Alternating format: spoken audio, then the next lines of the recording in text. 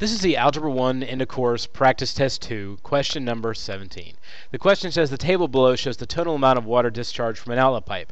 And they give you a nice little um, table there. In my independent variable or my x or the first group would be time. My dependent variable or my y or my second group would be the amount of water in gallons. And the question says, what is the discharge rate in gallons per minute? Now, I can assume that the relationship is linear, but which means that each, the difference between each section would be the same, but I don't know for sure, so I'm going to have to test.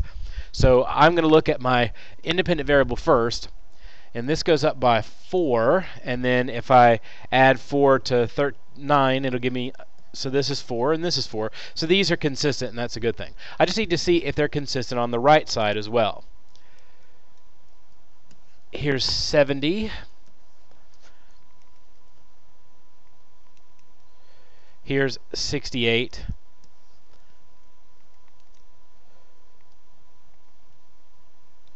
And here's 68. Oh, no wonder. That shouldn't have been 70. I'm sorry. I thought this was 83, so it should be 68 as well. My bad, I don't know what I was thinking there.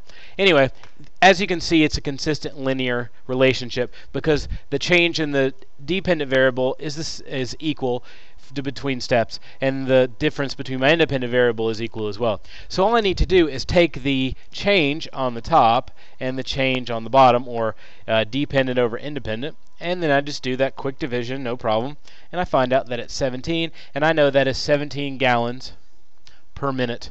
So my answer is D not really that difficult. If you do have this kind of setup, it makes a lot of sense to just make sure that the differences are all the same, unless it says it's linear, which in that case, it's obviously the same, but you can't always just assume. And then just divide the differences in your dependent variable, your right side, or your y, whatever, by your differences in your independent variable, your x, your left side, whatever you want to call it. So good luck.